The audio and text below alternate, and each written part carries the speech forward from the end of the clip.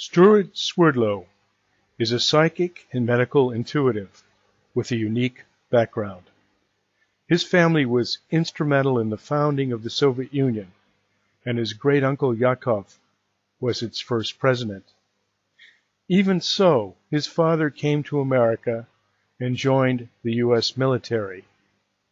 Stewart himself had a difficult childhood, where he endured various painful medical experiments and was later brought into the famous Montauk program.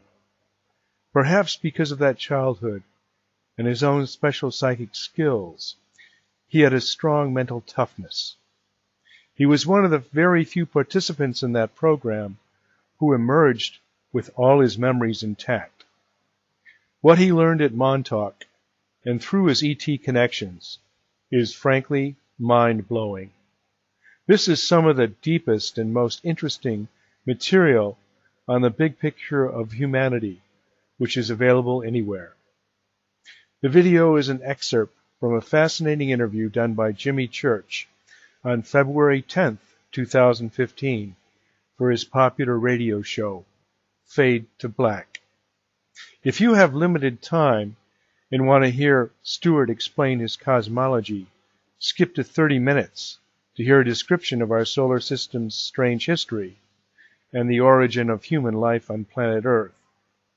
And there is more in Mr. Swerdlow's books and on his website, expansions.com. But if you can spare the time, I recommend listening to the whole thing. Fasten your seatbelt and get ready for a mind blowing hour or so. It's, uh, it's all going to be okay. I'll never let anything else Mhm. happen Yes, to you. Yes, right. Is right. that is that what happened? Mm, yes. Uh, that's what the programmers would do because they would bring you to the brink of death or to the brink of the most severe fear that you could ever imagine. And then they would rescue you from that at the last moment. And then it was kind of a bait and switch because they became God.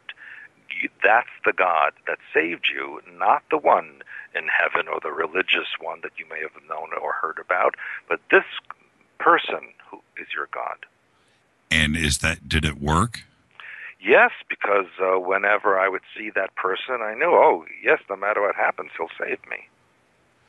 Wow, wow. And how do you deal with that as an adult? Hmm.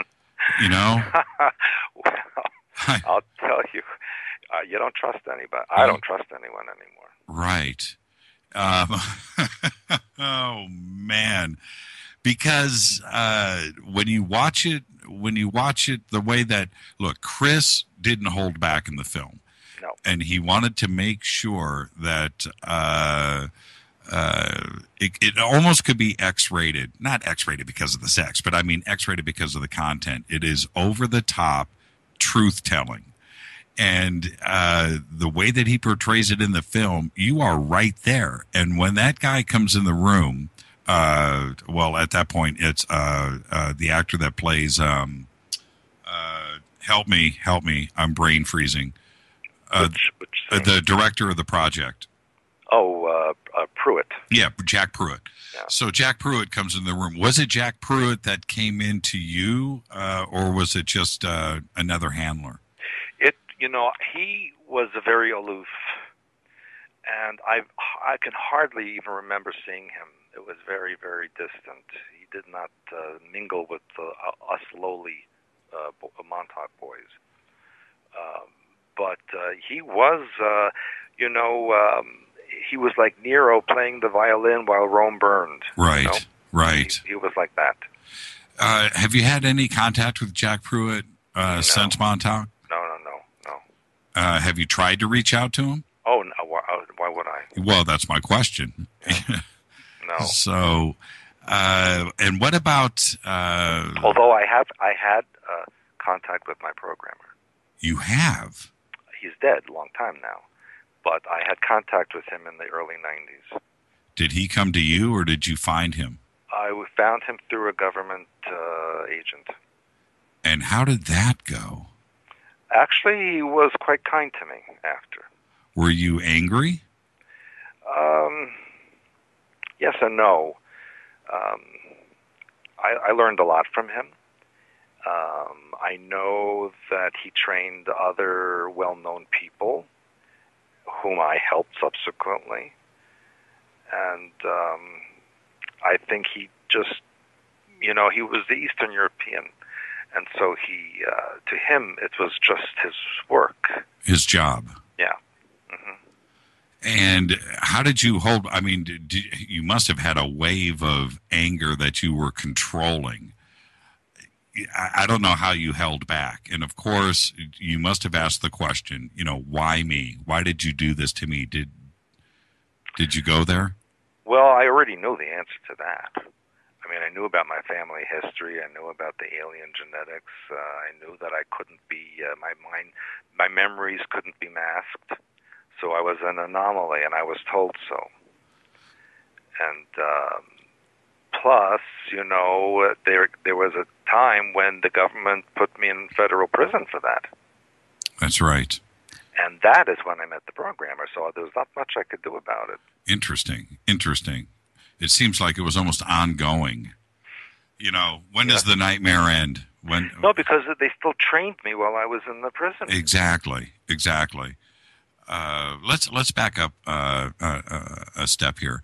So with uh, you, you had the mind control aspects, and we had the time travel. I want to visit the time travel here in just a bit, but uh, with with the mind control program, were you sent on a mission, and and did it involve?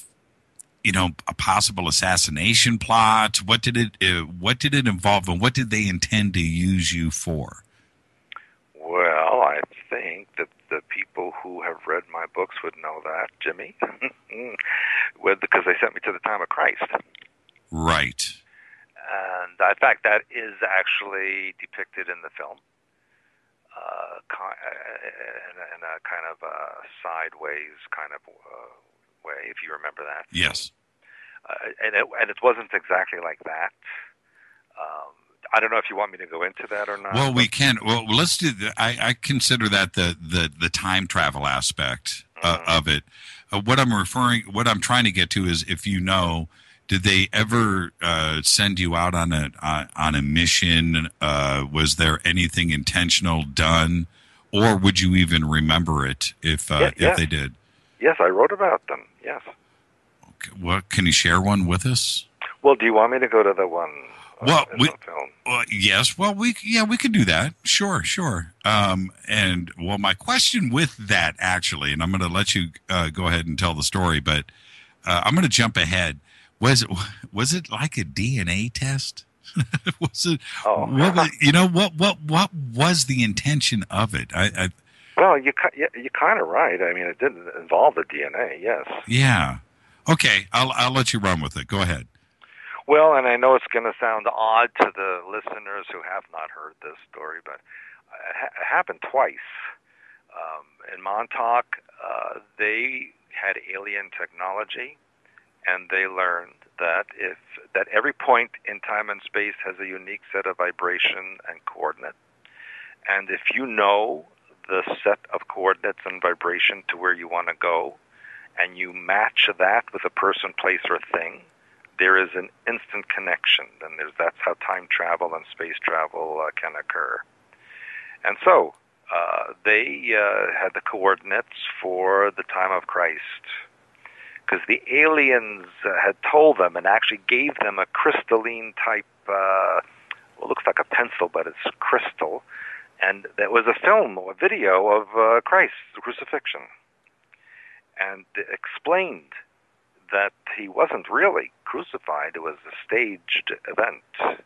And that's a whole nother story. And uh, in fact, uh, in my new book, True World History, I've written about that. But the people at Montauk wanted to send a team back to assassinate him so that, in effect, uh, Christianity would not exist in the current time the way it exists now. And so they sent me back with a, a pistol, and I was supposed to find Christ in Jerusalem and shoot him. And then they said they would bring me back. And so I got to where they told me he was, and there were these huge, uh, I guess, stone or mar- marble white steps going up to what looked like a very big Roman type looking building. And the Christ figure came out and stood on the top, and I looked at him, and he looked at me, and I raised the gun, and I couldn't do it, and I ran away. And they brought me back. What did he look like, Stewart? He was about five foot ten, uh, auburn hair, uh, green eyes. I would say kind of a, a light tan skin, uh, thin but well built. Did you know who he was right Oh, away? Oh yes, I know who it was. Any communication? No, he just looked at me, and I, I said, "Okay, I should not be doing this." and you ran away. And I ran. I ran. How old were you? Ooh, I must have been 15, 16. Lesson learned? Well, they sent me back Right. uh, because I was punished for Yeah. that. And what happened? And so then they sent me back, and they said, "This time, we're going to send you to while he's on the cross. We need his blood because we're going to clone him." And so they sent me back with this little vial. And if any of you know people who unfortunately have uh, diabetes and need to take uh, their blood test, you know, like this, it was like that Right, right. little tiny. And he was on the cross, and I went up to him. And no- he had no, of course, no shoes or anything on. And I jabbed his toe and took the blood sample. Was he still alive? Yes, he was alive for many years after that. Did he? Oh, oh, oh, okay. Let's come back to that. Did he see you when you Yes. came up to the cross? Yes, And did he recognize you? Do, Yes. do you think that he recognized I you? know he did. And did you look into his eyes? I tried not to. But I you did. Okay. and I just did it and left. You did it and left. Mission accomplished. Mhm. Uh, how did Because? I figured, okay, it's just a drop of blood. I didn't really. I mean, it's not a cross, okay? I didn't really hurt him. right. And by the way, the way it's depicted is not the way it really was. Uh, Great minds think alike, Stewart. You knew what I was going to ask. Okay. I'm, so- I'm reading your mind, and quite frankly, it's scary. Okay. So who was there at the cross when you went up? Were you alone? I was alone. There were people around. It was kind of like um, a raised field, if you will, or ma- mountain. There were many other crosses with people on it, and there was like a rock border, uh, almost like the like the kind you put around the garden, almost. And people were behind those rocks, praying on their knees, crying, uh, sleeping. It was kind of like early, early morning, and so I just went up there because people, you could go up there. So nobody nobody stopped you. No, no. Now, I, I have to ask you this though. Uh, what were you dressed in? Did they period dress you, or Yes, were you yes. wearing 1970s bell No, bottoms? no, no. They they dress you in appropriate clothing to where you're going, Okay. as long as they know where you're going. Because some people wound up in other places, and that was not pretty. What about now? You speak ten languages, but do you speak Yes. Aramaic? I spoke Hebrew. You spoke Hebrew. Yeah, even though in those days they the the the the people, the population spoke Aramaic, but in the religious uh, temples they spoke Hebrew. How did you know? Uh, if you don't mind me asking, I just this is two guys talking. Uh, this is a guy question. How did you know where you were going? Oh, or did they- you, or did they deposit you close to the cross and you Yeah. knew where you were at?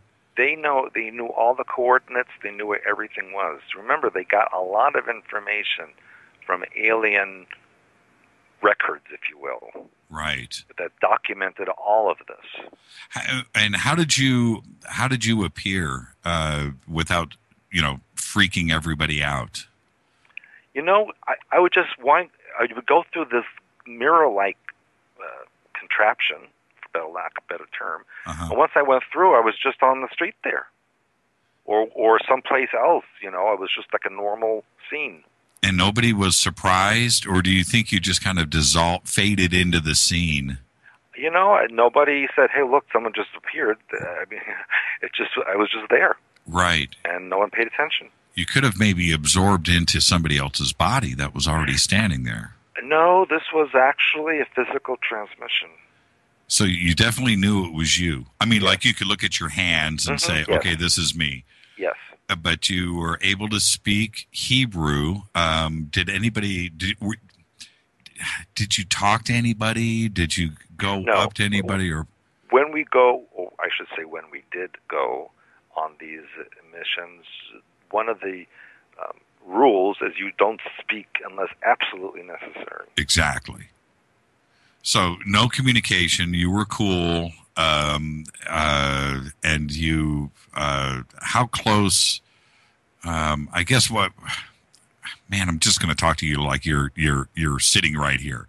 What was the cross right in front of you, and and how much time did you spend uh, uh, walking up? How long were you there? Se- seconds. Seconds.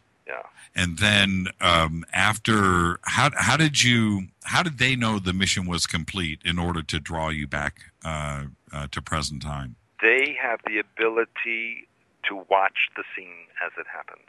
And how was that? Was it Uh, that's some kind of alien technology again, where you can tune into the frequency of the specific point in time and space and interesting? observe it. So when you got back, now you've uh, you've completed the mission. You've got your syringe or vial or But it was a vial. yeah, uh, the sample of blood. What happened next? Well, then they sent me to the surface of Mars to hand it over to one of the psychics from the Montauk Project to be used in the cloning process. Uh, that, that was instantaneous, like the same day, the same moment. It was very shortly thereafter. Right, right. And what? And so, what did they do? Were, were you able to see what they were doing with the blood, or No, did you just no. come back to Earth and? Yeah, yeah. I met the person on the surface, which, by the way, Mars is not not like what they tell you it is. Right. And uh, there's an underground area, uh, and there's many different civilizations that have a piece of uh, Mars, by the way. And uh, they cloned a Christ there, and they are using that body for a staged second coming. Interesting. Last night we had uh, uh, Dr. Angela Smith um, on the show. She's a remote viewer, hmm and she, in one of her projects, and I can talk about this because she was on the show last night and shared this with us. She said that uh, she remote viewed Mars, uh, went to Mars, and she encountered an uh, an ET species that was there, and that lived underground. And she described them as uh, a, a different shade of gray, but a gray race or species. Is that what you experienced? Did you see anything like that? Um, Uh, there are several uh, civilizations, well, I shouldn't say civilizations, bases different uh, civilizations uh, in Mars. So it, it, there's more than one. Yep, she said everything was underground, and she Mhm. said that she did uh, talk to them about some of the anomalies that have been showing up in images here on, you know, from different probes that were sent Mhm. to Mars. And one of the comments that she made, I'm just wondering if you've heard anything ab- about this or experienced this. She said that uh, the probes that we were sending to Mars, I'm not making this up, that they thought that they were gifts. they literally would go out and gather them and bring them underground, and uh, that they thought that they were gifts, that they didn't know that they were probes. Uh, sound? Did you experience or see anything or hear anything like that? No, uh, the beings that are there know what the heck they're doing, Okay, and they consider humans to be very low level. really? Oh, yeah. In what respect? Um, Well, they refer to humans as containers, like tools? ca- like containers to be filled up and emptied out as needed. For what purpose? Wow, that's interesting. Mm -hmm. Yeah, exactly. What purpose? Huh. Huh. Okay, back to Montauk. Now, with uh, uh, with uh, everybody that was there, and especially you know Al and Preston uh, in the film. Do you remember Al and Preston being there when you were there? I, I, I again, I have to tell you, I was a child, Right.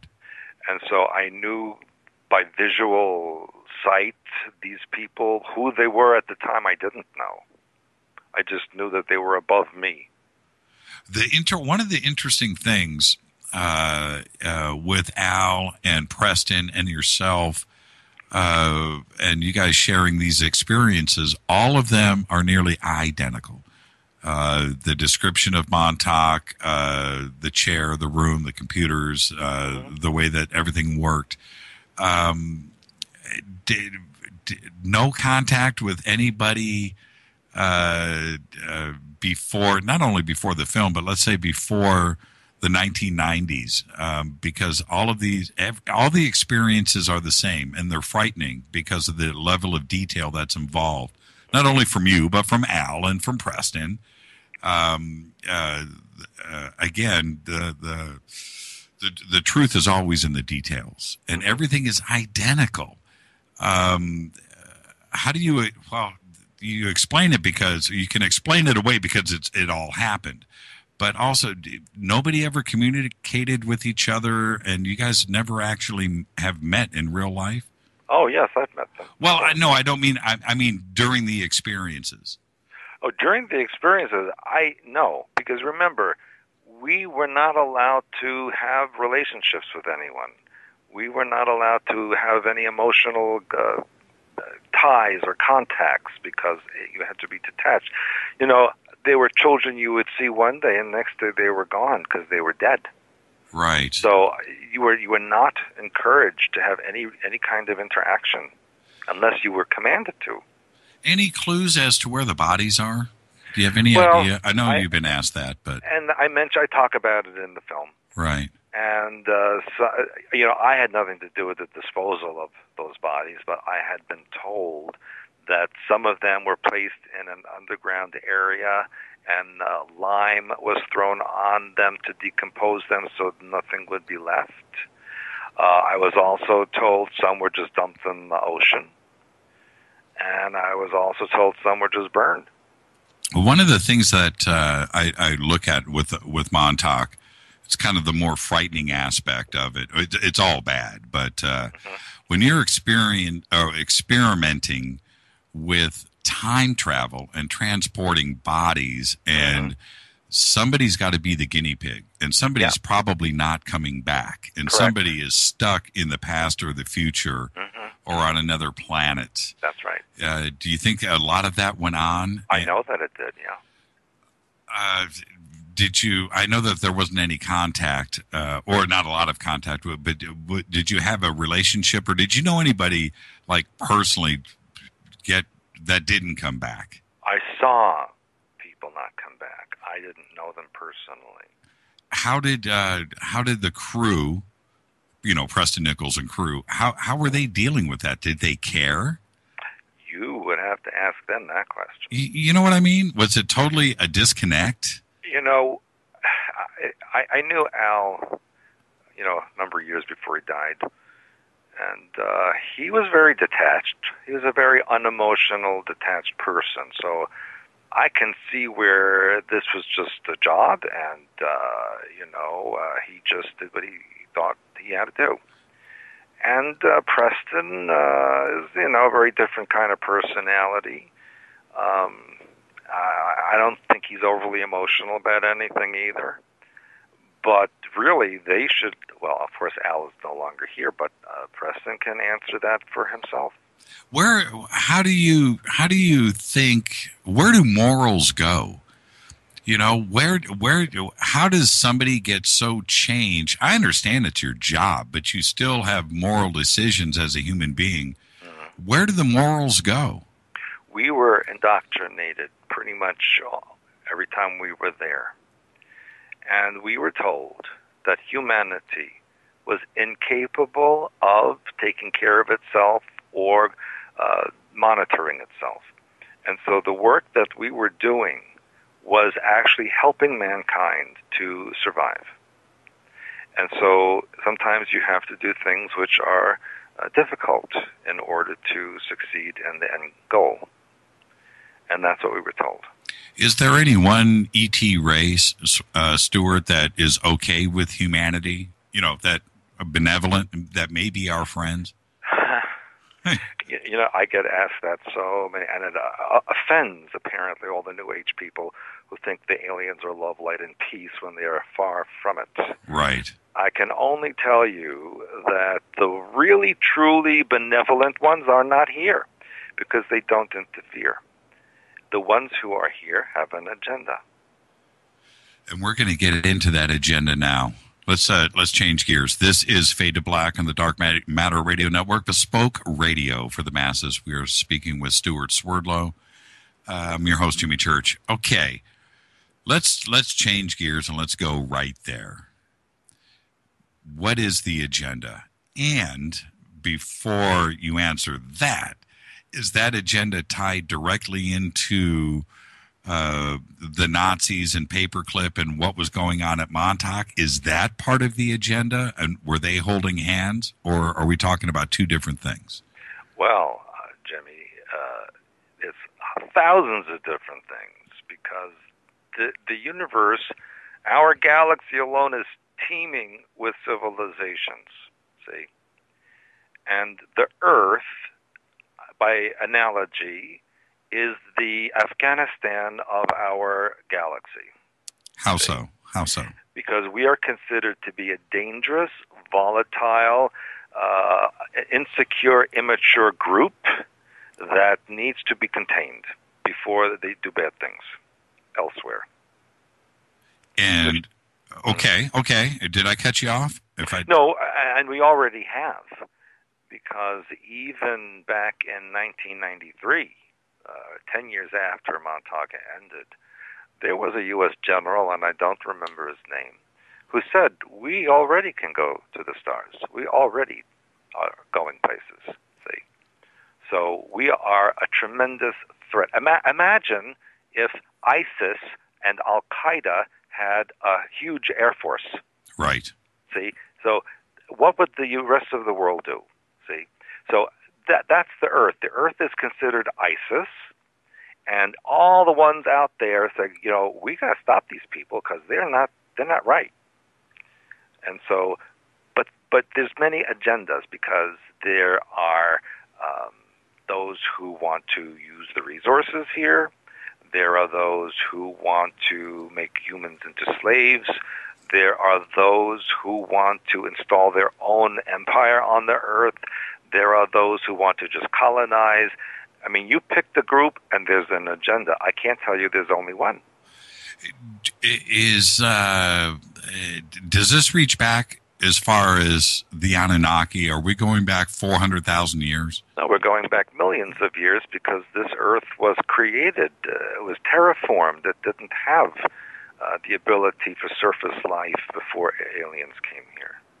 And okay, so where uh, when you say that there's thousands of agendas, and I understand exactly where you're going with all of that, are they directly influencing, let's say, Washington D.C. and Moscow, uh, and and and the the things that we are seeing unfold in front of us? Is that not? Is that our DNA that is doing that, or is that another? DNA and force that is uh, causing world events? Humans are also aliens here. So our DNA is hybrid. It's not pure anything. See? So to answer to your question is yes, uh, but uh, many of these groups consider humans to be part of them because we have those genetics. I can tell you the original and this is in my books, people know about it. The original group here were reptilians, see? And uh, human beings are a mixture of reptilian and mammalian because there was a synthesis going on. That's why it says in the Bible, let us make man in our image. There's no singular God. It's a plural. It's right. not God. It's it's a group of beings. See, and that may offend religious people, but the Bible is not to be taken literally. Well, when you don't say my and you say us and our, mm-hmm. that's a and, yes. And I, I will tell you that in the Old Testament, every, without exception, reference to God is plural. Do the aliens? I'm sorry, I was sipping my Starbucks. Uh, it's so That's bad. full of poison, you know. It's so bad to do. I know it. It's so bad. Do you drink coffee? You don't drink coffee? I drink organic black coffee. Okay. Well, so you do your caffeine injection then. Yeah. Okay. All right. Um, I apologize for doing that. Um, drinking on the air, very unprofessional. Well, I'll try. I'll try to get over it. uh, um, now, uh, uh, uh, your ability uh, to read DNA. Okay. Uh, what what exactly does that mean? I want to lead that into uh, where we are today. Okay, so uh, we're, we're, we're away from the aliens now. Well, no, are are we? Well, no, no, because the I was explaining about the aliens, and then we went into what I do. So Well, I just I just want to give you the right answer. It, it, and where I'm going with that is uh, our DNA today is uh, uh, uh, well. I'm going to let you answer that question, but it was manipulated, you know, millennia ago. Many. Uh, that's right, uh, uh, and and we haven't really our our actions today uh, as a human race, war for one, um, and anger at our brothers uh, constantly uh, and our neighbors. It seems to be predetermined, and that's where I'm going with that. And Okay. okay, And, and that's because, I, and I want to go back to uh, what I was originally stating. The, the this planet. I, I mean, I could go back very far, but it's, uh, we don't have enough time, and it could be confusing. But I, I will just say that there there were colonists here uh, before the reptilians, and these colonists were uh, insectoid, if you will they were in the inner earth and this was a water planet. Now there were colonies on mars human colonies and on a planet that no longer exists that was between mars and jupiter uh, that was called maldek. Make a long story short the uh, reptilians uh, sent an ice comet in uh, kind of flipped neptune on its axis uh, pulled the atmosphere off of Mars, caused those people to go inside the planet, exploded Maldek, which is why we have an asteroid belt between Mars and Jupiter. And then the ice comet kind of went into a revolving swirl with the Earth, which was in the second position from the Sun, and pushed the Earth into the third position to the Sun, polarized the oceans, and created ice caps. And the ice uh, uh, comet became Venus. And when the came close to the sun, uh, the light of the sun caused the ice to evaporate and create the cloud cover that's still around Venus. And so the reptilians then drove a vehicle into the solar system and parked it around the Earth. We now know that as the moon. And from the moon, they colonized the largest continent that appeared above the water, uh, which uh, has become known as Lemuria. And it was only uh, hundreds of thousands of years later that hu- human or mammalian life came to the Earth. So, from the reptilian perspective, they were here first. This is their planet. Humans are the invaders, you see? Now, going back to the very beginning of our conversation tonight, you had your experiences with uh, uh, ET before you were 13 years old. You have contact now as an adult. Is that where this information is coming from? No. Where where where's the information coming from? The information I just gave you is what we learned at Montauk Project through over a decade of researching linear history on this planet, plus information that was given through various other uh, alien sources, plus information through artifact and uh, remnants of ancient civilizations that were discovered that are not revealed to the public. With uh, with the the way the Bible uh, has portrayed the devil and the way that the devil looks and Satan looks, and or certainly how he's classically portrayed, is that a, a reptilian race? Yes. Is that what hell is? Am I asking the question right? Am I making Yes, sense? Yes, but I have to give a longer answer. Okay. and and and so when when the humans who who actually human civilization uh, the orig- origin is the Lyrian star system. That was attacked by a Draco reptilian and that's why the humans fanned out through various parts of the galaxy Mars being one of them Maldek being another. And then uh, when the earth became colonizable even though the reptilians were here uh, humans came to the the next largest continent, which we now uh, or now call Atlantis, and uh, they colonized that. And, and of course, humans or mammalians and reptilians should not be living together in the same spot. So there was war, and uh, it was very destructive. And they decided to make a peace treaty by creating the synthesis of the mammalian and reptilian, which is what we are now uh, mankind is the synthesis. That's why we have reptilian brainstem, we have skin that wrinkles and peels, we have a reptilian lymphatic system, and on and on. Human body is a representation of reptilian life.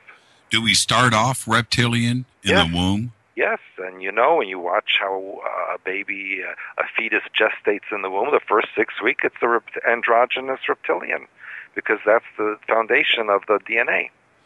And so the change actually happens in the womb. It, it has Mm-hmm. has have there uh, ever been reptilians born where that change hasn't necessarily taken place? Yes, yes, because if uh, by some mix of genetics there's a 50-50 split of uh, mammalian and reptilian, then uh, it depends on what type of soul personality enters the body that will determine the physical manifestation of the DNA. Uh, wow. And would- they, if they were born here, or or the change didn't take place, I should say, Yeah. uh, do they go underground? Well, usually when you have uh, such a high percentage like that, that's kind of an elite group, and they don't really make themselves that public. Would you be able to recognize a reptilian if you saw one? I have, yes. Now you have to understand two different things. There are those who can shapeshift between human and reptilian, Right. and there are reptilians who cannot shapeshift but use holographic images around themselves to look human. And you could recognize one, or Yes. could could I? I, I should. That's Anyone- that's I know. anyone, yes, can be trained to see this. Yes, of course. And and how would I go about that? Well, you'd have to open up. You have to open up your mind pattern, and your and your ability. Um, do the hyperspace work that I teach. Uh, open up your genetic codes. Uh, you can do this. And I do want to remind everybody. Let me uh, just do this really quick. You can go to expansions.com. Uh, Stewart's website uh, through you can go directly it's expansions.com also over at jimmychurchradio.com all of the links are there you can click on Stewart click on his name and uh, of course we have a Stewart page there too as well and and everything is there. I got an email uh, uh, this is kind of seg- it's a complete right turn but I don't want to let this get away from us. What do you think of the recent uh, the reasons for the recent rise of Christianity in Russia? Yes, uh, that is also staged because what's being planned is a new world religion with this uh, staged uh, second coming of Christ.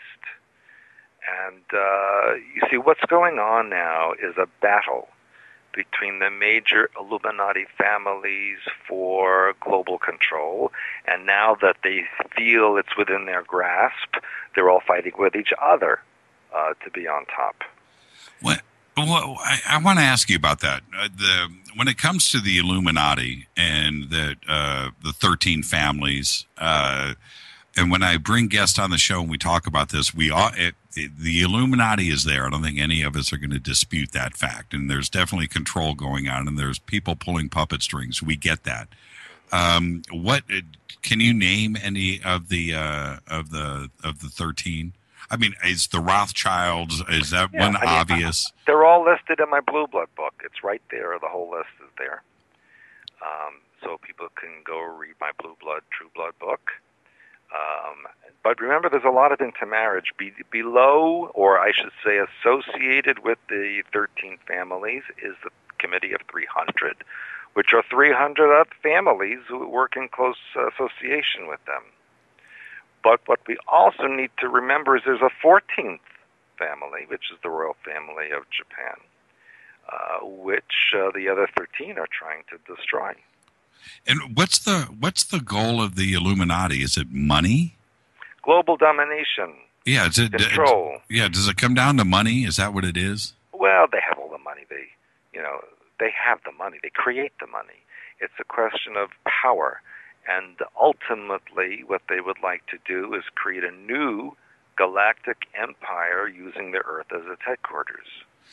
Does it? Does the Illuminati go beyond uh, the Middle Ages? Are we talking about going back to Egypt and and and before? Mm-hmm. Goes back to Sumer. It goes back to Sumer. Yeah. And uh, uh, it, it, it my my view is this: it has to. The Illuminati is isn't some new thing from Bavaria in the 1700s. No, in 1776, Adam Weishaupt uh, created the Illuminati, and that was the first time it became public. That's when the the secret part of it started to become public. That's that's what his role was you know, somebody just uh, uh, this is from Michael Anderson, and I find this very interesting, and I'd love your comment on this. When, uh, as far as the reptilians go, was it ever really discussed openly before, say, 1980, 1990? Was by there? By whom? Uh, well, by anybody. Was there ever any references to it besides, obviously, the Bible? I think the Bible is strongly there there were and there are groups on the earth who were quite aware of the reptilian presence, but uh, of course, you know, in those days, even now, it's very difficult to discuss that publicly. What and what do we do as a uh, as a human race, uh, and and how do you teach uh, yeah. to do mm-hmm. these changes? Yes, yes. Uh, so I teach work that, uh, first of all, DNA opening exercises I teach balancing the left and right hemisphere of the brain, opening the pineal gland, deprogramming from the Illuminati mind control that's pervasive globally. I do techniques on that. Uh, release work of mind patterns that are not serving, growing up the child within, connecting to the oversoul and God mind. I have a lot of work uh, that I teach. And uh, now is the, I mean, there's no time to waste. Everybody needs to be doing this. You want to take some phone calls? Sure. Sure, absolutely. Let's do it. Let's open up the phone lines 323 825 5045. 323 825 5045. You can also Skype in, of course, uh, Fade to Black 14. Fade to Black 14, that's the number 14. 323 825 5045. We're on a time delay, about 10 seconds, Stewart, so we'll wait, uh, wait for the uh, phone calls to come in. How do you. Um, and I kind of alluded to this earlier, but when you go through so much uh, drama, I, I want to use the word horror because it, it, it, was truly that. How do you find yourself dealing with that every day? Do you ever get past it? Well, that's a very good question. Uh, the imprint is there. You know, it's uh, I, I always like to use analogies. When you, when you have a very deep scar, even when the when it closes up and heals, there's still a scar there you know, it reminds you of it. And so, yes, every day I have to remember where I came from and that I survived things that most people should not survive. Uh, so, therefore, whatever I experience now is really easy, and uh, I can surpass anything. Do, do, are you a funny guy? Do, do, are you able to have humor? I have been told I'm hilarious. you know, I mean, it just seems I, I, don't know how you cannot come out of it. Mm-hmm. You know, somewhat damaged isn't the right word, but it, it's something that it's a mountain to overcome that is just huge. Yes, and you know, it, it is humor that actually helped me survive because if I didn't see the funny side of everything, I wouldn't be here now. Oh, I meant to ask you this earlier um, while we're waiting for the uh, calls to start coming in. Have you ever um, seen objects in the sky? Have you ever had a uh, an actual UFO sighting? Oh, that, sure. That that wasn't part of uh, everything else. Well, you know, it is everything's part of everything. Well, else. yeah, certainly, certainly. But uh, but uh, yes, of course, I have seen those things. yeah, tell tell me about it. What what have you seen? Well, the the most well, oh gosh, uh, one time actually, uh, I, my family went to a, a restaurant in Montauk, and we had family uh, guests from England, and we were driving back to our home, and uh, I, from the back of the car, I could see a, a light coming off the ocean, and it followed the car all the way home, and when we got out, it was just hovering over the treetops, and uh, I actually ran over to it, and it flew away. Uh, how big was it? What Oh, what did it it look like? uh, the size of a station wagon, I would I would say, uh, in those days. Um, then another time, the weirdest place was Australia, because I was there in the outback, and I was staying with some friends, and they have very very clear skies because there's no pollution out there. And every night you would stand outside and look up, and it was like uh, like a UFO freeway. I mean, every minute there was something flying by, zipping by, stopping, zooming. I'd never seen anything like it. Interesting. Uh, any cameras? Did you take it, any cameras? Any pictures? No, I didn't actually. Isn't that isn't that strange? Even with my own experiences that I've seen, Mhm. no cameras. You know, yeah, it's funny because it always happens when you don't have the camera. It it is. Well, you know what though? I I had a cell phone with me. What uh, this one experience didn't didn't even think about.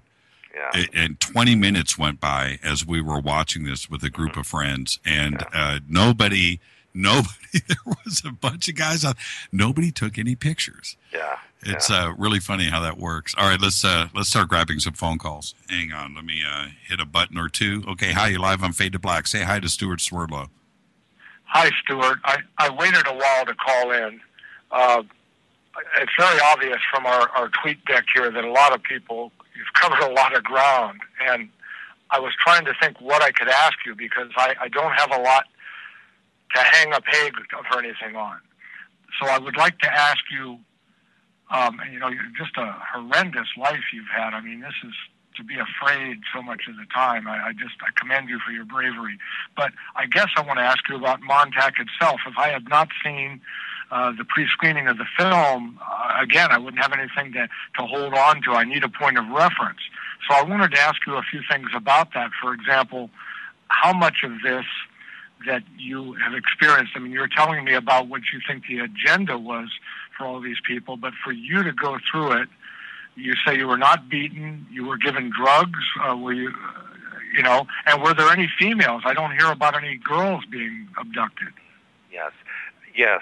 Actually, I was beaten. I don't know if I made that clear. I was horrendously beaten, uh, both uh, by hand and by object. Uh, so that did happen. Broken bones? Uh, I fractured some things, yes. Um, you mentioned no females. Correct. When there is mind control and programming, you know, male and female have different energies. Male energy projects out, female energy absorbs in.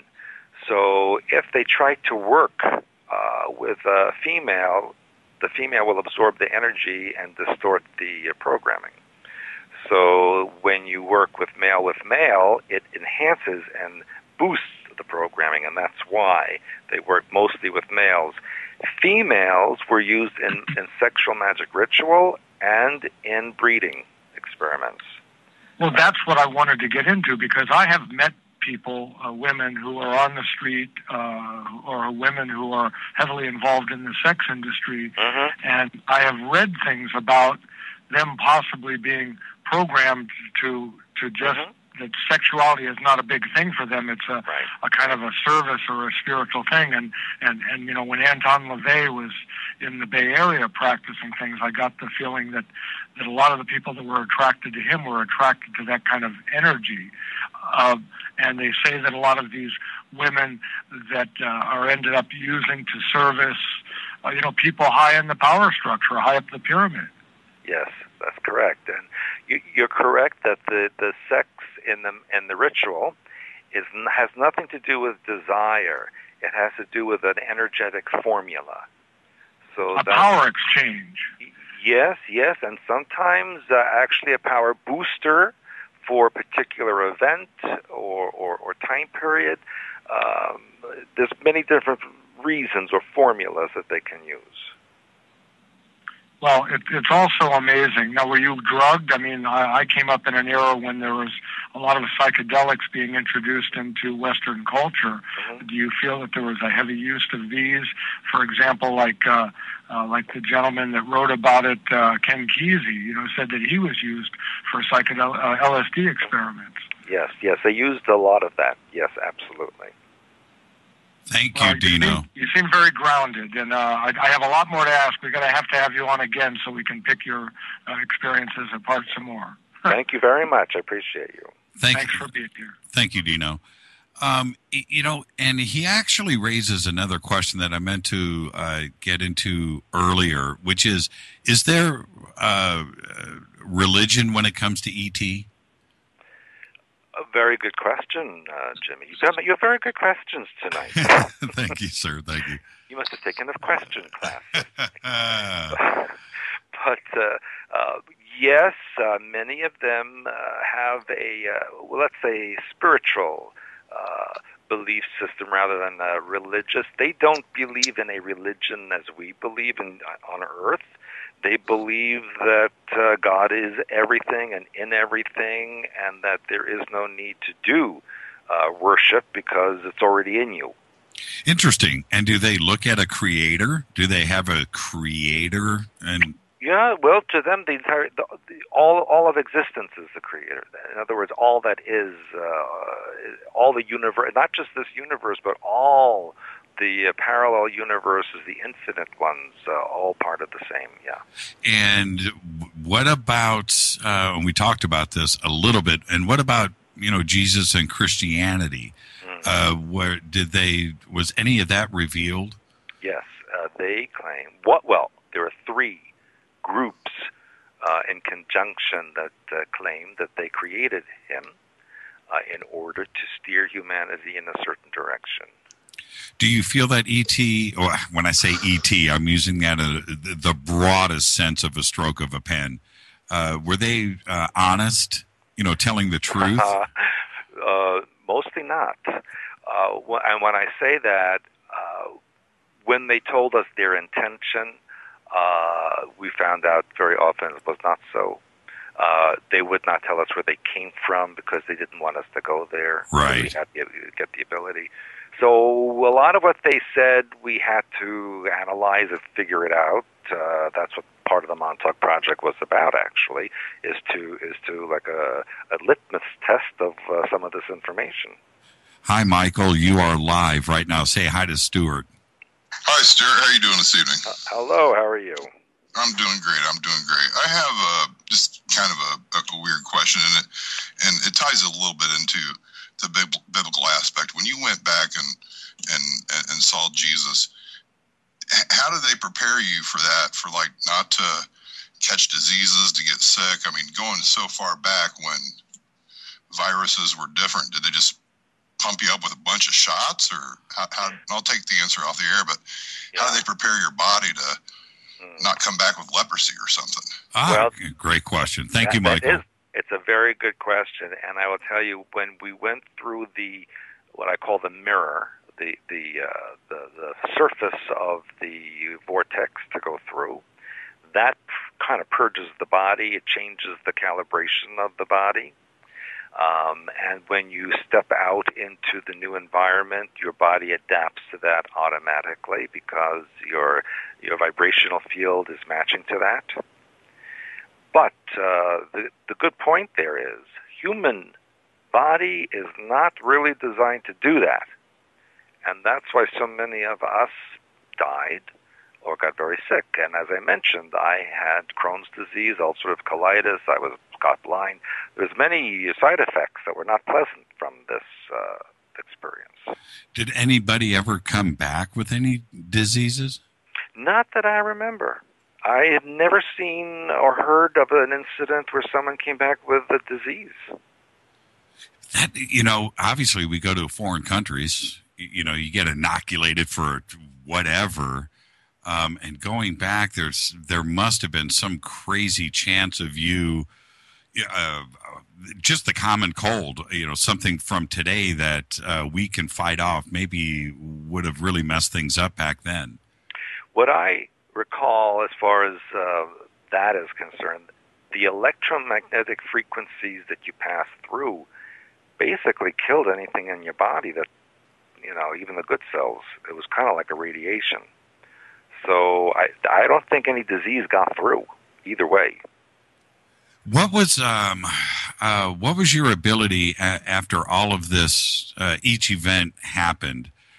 Were you able to remember it the next day, or did these memories come back as you started to grow up? No, I remembered them consistently and, and, contiguously. Did you think you were dreaming? Sometimes I did. Sometimes I wished I was. Yeah, and I'm, I'm not being facetious, but you know, when you have these extraordinary events, you must have woken up in the next day and, and had to ask yourself, was this a dream or was this real? Well, I would have done that except for the uh, evidence. For example, uh, the sheets or the covers of my bed would be across the room. Sure. Uh, I would be uh, naked. I would have marks on my body. I'd be bleeding. I'd have scrapes. They would be evidence that it really happened. Were you? Um, uh, this is just a funny question. Did you ever bring back anything, uh, a souvenir? Oh, you were never allowed to do that. You, you, yeah, but did you sneak something in your pocket? You were naked when you went in and out. Oh, really? hmm Um, so you couldn't even be tempted.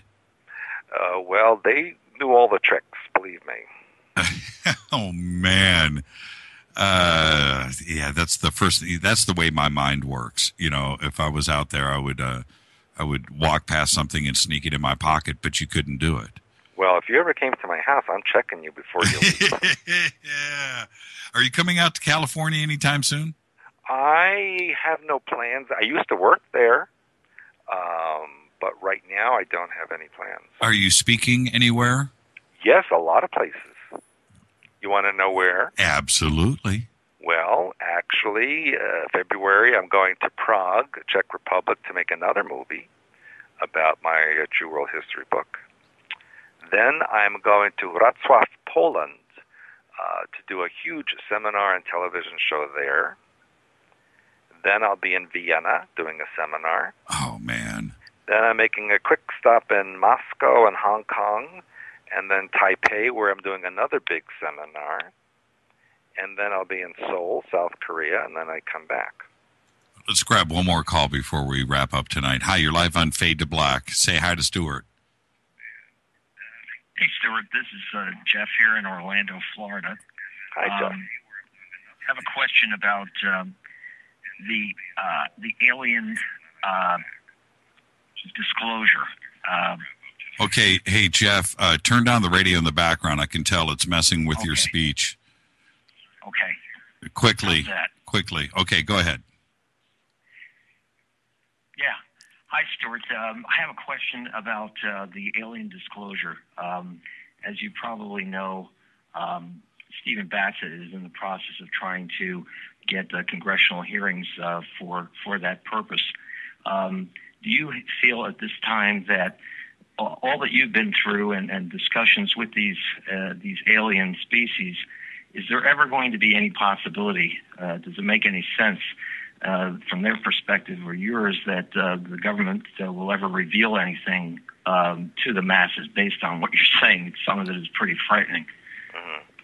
Well, I, it's, a, it's a little bit of an answer for that because uh, we are in the process right now of seeing the staged alien invasion scenario being played out, which is why the government is saying there are these Earth-like planets out there, and that there's you know possible contact here in your lifetime.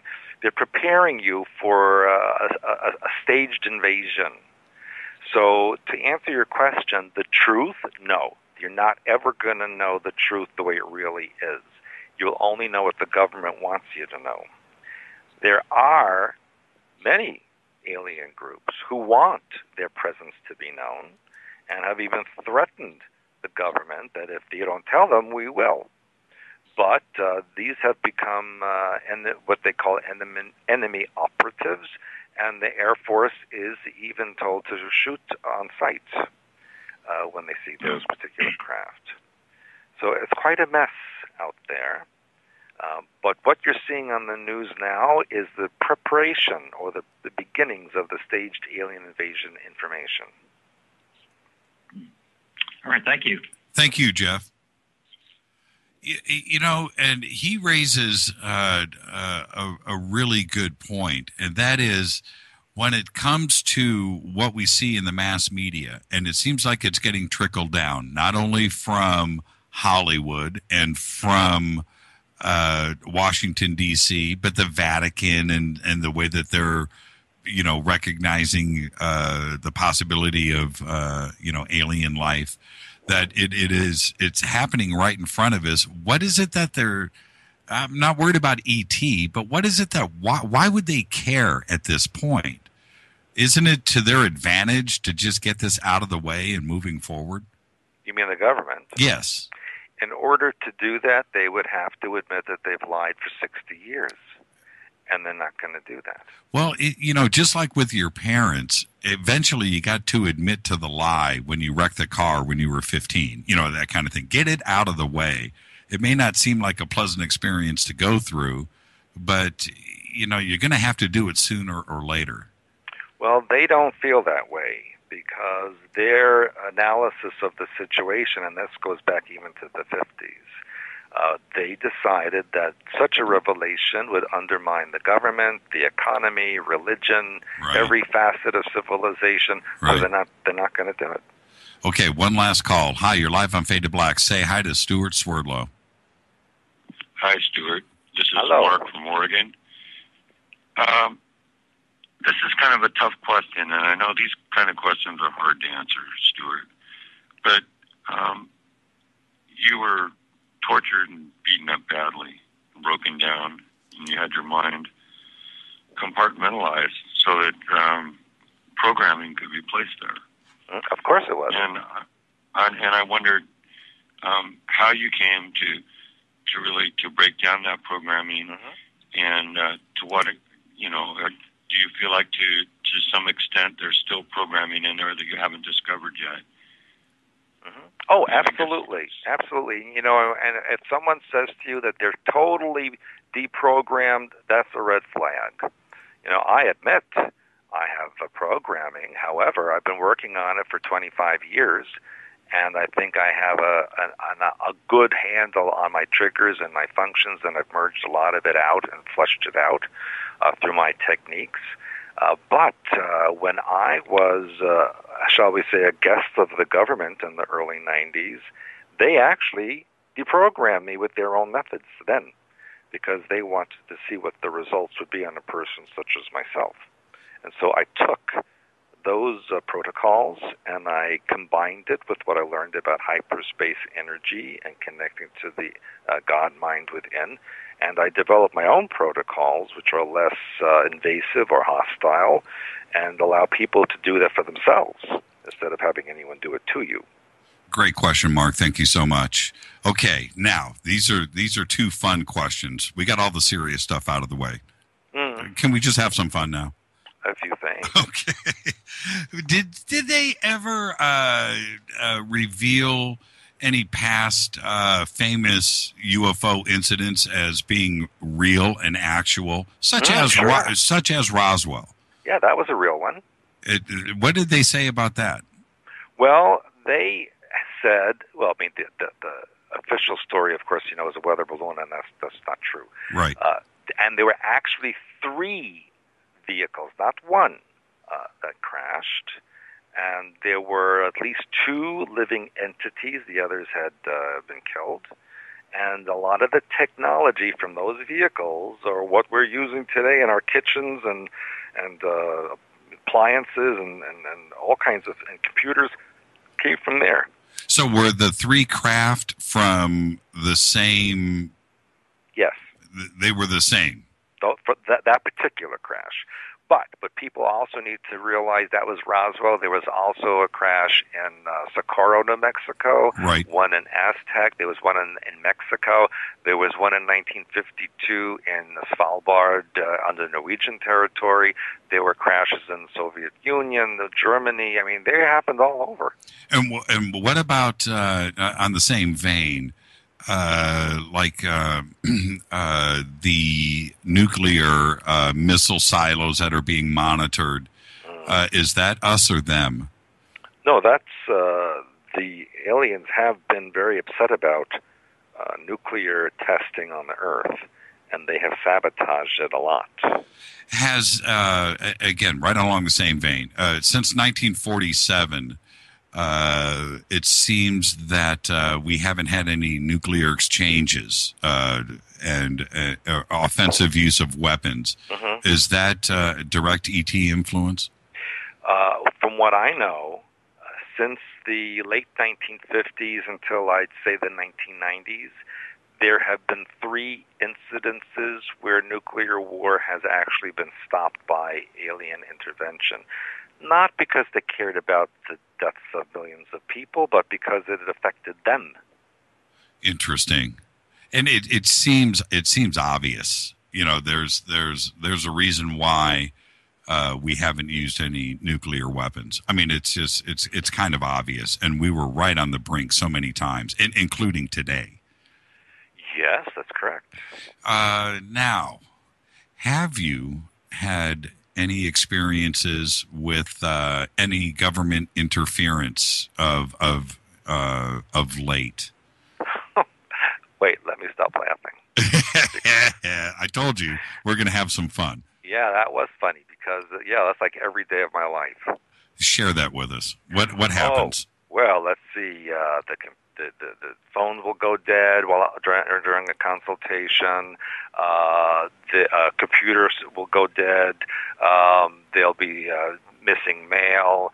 Uh, I, you can hear the tapping in on the phone lines. Uh, there are weird things going on in the house, light bulbs exploding, uh, cell phones uh, going out. I mean, you name it.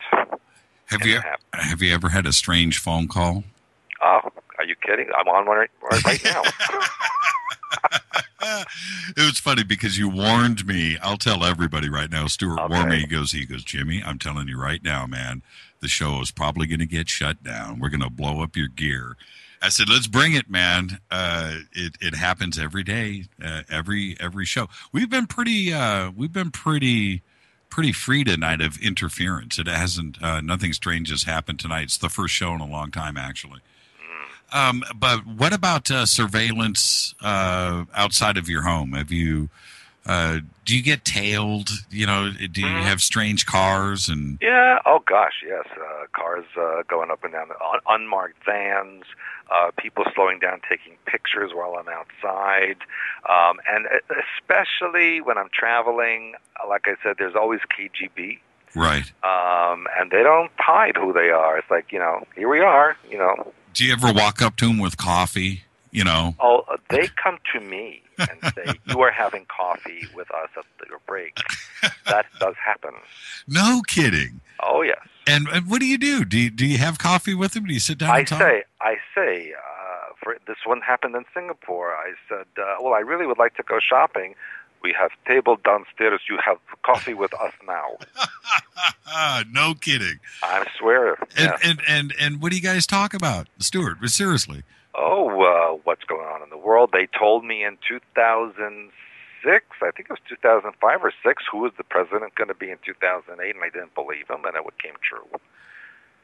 What? Yes, that's another story, Jimmy. Oh man, we've got to have you back. I've had such a great time tonight.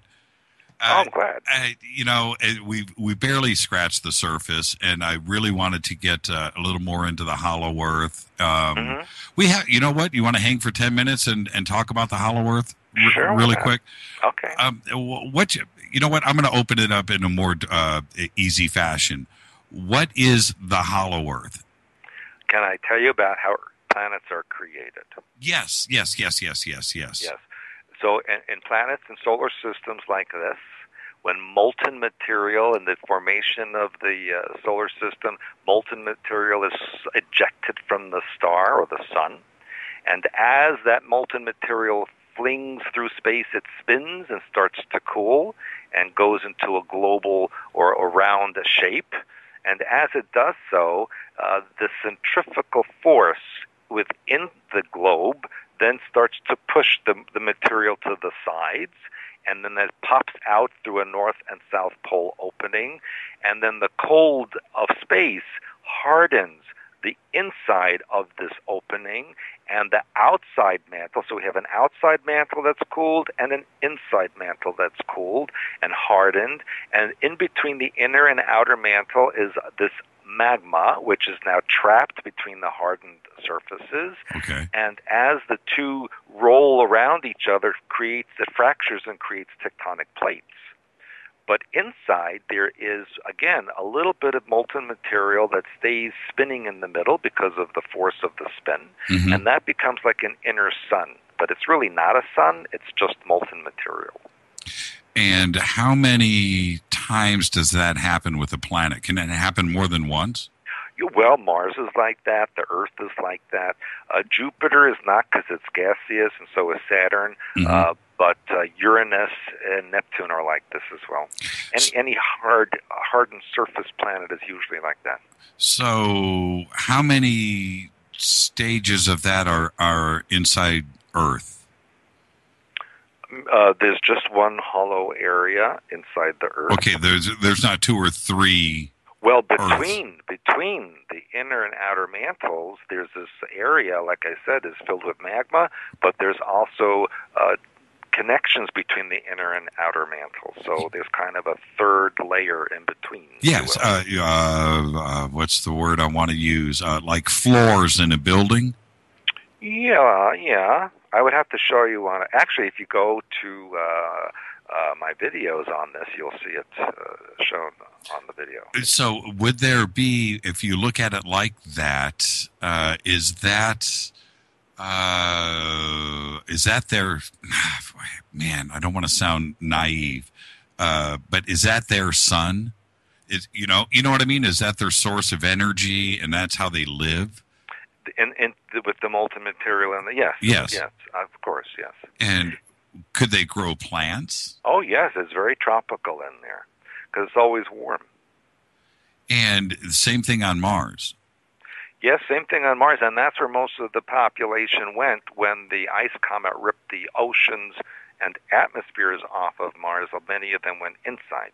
How far? How far down do you have to go?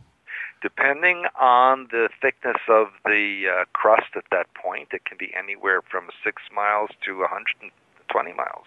And Is this what happened with? Again, I don't want to sound naive, but you're the guy. I need the answers. Is that what happened with, say, Lemuria and Atlantis, Yes, yes, it collapsed into the inner, inner mantle, yes. and took the population with them, or was there an Well, opening? Well, some of them escaped into that uh, third in between area, which created the legends of demons under the earth or hell. That's where that came from. Interesting, interesting. Where was Lemuria, by the way? It would have been, well, actually, you're standing on an edge of it right now. In Burbank. Yes, uh, any west of the San Andreas fault line would have been part of Lemuria. And then all of the Pacific Ocean, including Japan, Australia, New Zealand, Hawaii, Philippines, Taiwan, all those areas are the remnants or what's left above the surface. Was there a string of islands with Lemuria, or is it just one spot? No, it was a, a series over actually thousands of years. Right. and uh, at the end, the Atlanteans had uh, equipment that uh, disturbed the geomagnetic force of the Earth and caused the upper crust to collapse in and sunk the continent. That's fascinating. But guess what? It's parts of it coming back up. Where? Hawaii, uh, off the coast of Australia, and quite honestly, it's not good news for California. Do you- oh, you know what? We're going to get to another subject here in a second. I'm wondering if you know about it. Did you hear about the uh, island that just popped up uh, with the vol- uh, with the volcano? Yeah, near Tonga. I. Yes, yes, in, near Yeah. Tonga. Ah, yes, yeah, that's part of what's going on. Yeah, interesting. There are parts of the ocean floor off the coast of Australia that have been rising as much as 12 feet per day. Now, I didn't talk to you about this before, and I'm hoping you're going to go right where I need you to go right now. We uh, did a discovery. We were part of a discovery that uh, off of the Malibu coast, the Malibu underwater base. Yes. Did you read about that? Well, I know about it. Okay. Well, okay. Fantastic. what uh, what do you what do you when when we first published the images? Uh, what did you think you were seeing? Okay. That whole region, even under the Catalina Islands, there's a huge base there, yes? Yes. And the reason they have a base there is because the continental shelf at this location under California is kind of propped up by stilts or rock poles, for lack of better term. Mm-hmm. Um, and uh, unfortunately, it's starting to collapse, and the government has actually evacuated that Malibu and Catalina base. And uh, the reason doing that is because something not good is coming to your area. Did did it look when you first saw it? Did you have an aha moment? Uh, well, you know, nothing surprises me anymore. Right. I, I kind of knew it was there. Right. You know, and uh, you know, I don't know. Uh, should I had a different reaction, maybe? yeah, because it's with all of the uh, UFO activity that's been going on off of the California coast forever. You know, Mhm, it's been going mhm, on forever. mhm. Um, and everybody has talked about. Many researchers have been looking for this underground base, undersea base around Catalina, Marina Del Rey, Malibu, forever. Couldn't find any evidence of anything and finally we find it and and we you know publish as many images as we could and did our depth analysis but it certainly was validation and confirmation for so many researchers uh, over the years that uh, I think it's the first time where everybody has been able to go, okay, aha, all right, there it is, finally. Yes. And what you know, and I guess that's what I'm throwing out. Was that the reaction that you had? No, I, I just can I explain. It's because I know the base is being abandoned or it has been abandoned, so they don't care who sees it now. You know what I'm saying? Sure. What is it connected inland anywhere? Well, the biggest base in your area is in the Mojave, and it starts from the Central uh, Valley, and it goes all the way down into the Mojave, and then goes east towards Las Vegas and the Arizona border. And the government refers to, to that as a reptilian nest. It's one of the largest reptilian underground areas. Is it connected out to this uh, entrance? With tunnel, not with with tunnels. Yes, Sure. tube tubes. We call it tubes, uh, but it's not part of that. Uh, it's a separate facility. Interesting. Is it connected? Does it go uh, up to Area 51? Yes, of course. Yes. Yeah, of course it- would make sense. Yeah. When you look at where the Malibu entrance is, and with the with the photography and the imaging that we have presented on on the web, when you look directly northeast from the entrance of uh, the base, it goes straight over the Mojave Desert. It goes uh, through all of the naval installations that are there, the naval installations that are on the coast, and of course, in a s- nearly a direct straight line to Area 51. And I just don't find that as being a coincidence. Nobody's No. going to sell that to me. All the underground areas are connected with a tube system. They are they're all connected. Does it get to the East Coast? Oh, it goes global. It's global. Does it get to Montauk? Oh yes. Yeah. Thank you, Stewart. Thank you so much for coming on the show tonight. I just had an amazing time. And again, we Oh. just scratched the surface. And uh, the invitation is open. And uh, when you're ready to come back, you just let us know. Well, I appreciate that, and uh, whenever you're ready for me, let, let me know. Expansions.com is the website. Everybody head straight over there. And if you don't go to